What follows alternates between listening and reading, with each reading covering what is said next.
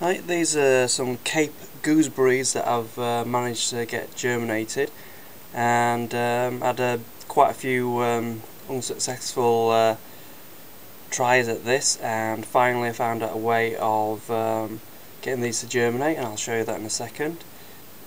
The uh, first thing I did uh, was to um, collect the seeds from a organic uh, Cape gooseberry bush last year.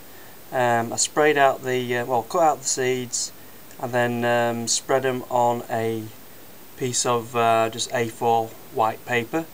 And then um, just when it dried off just flicked them off into um, a little jar and then kept it.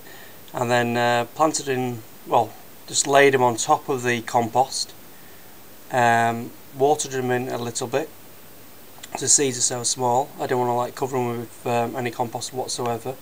Um, and then I uh, just sprinkle some sand on top to stop any mold from occurring from indoors.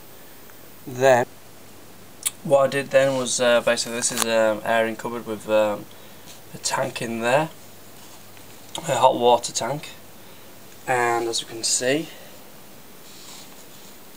um, not much germination happening here, is there? Is there? Oh, there's a couple coming up.